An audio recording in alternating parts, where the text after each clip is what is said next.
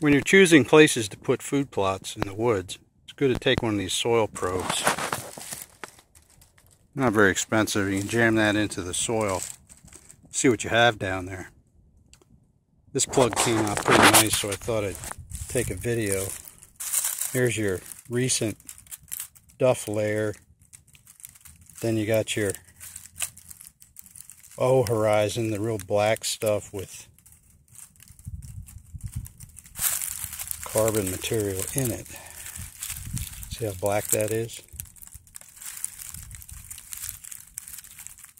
Okay, then you got A horizons, a little darker, and then you go down into your subsoil, which is pretty kind of a, looks like a,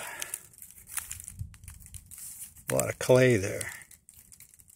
So that'll hold moisture real well, and I have a good topsoil layer.